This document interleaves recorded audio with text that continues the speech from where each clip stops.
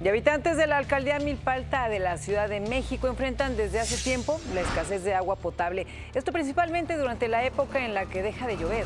La mayoría aplica el programa social cosecha de lluvias, mismo que les permite recolectar el agua pluvial para su almacenamiento.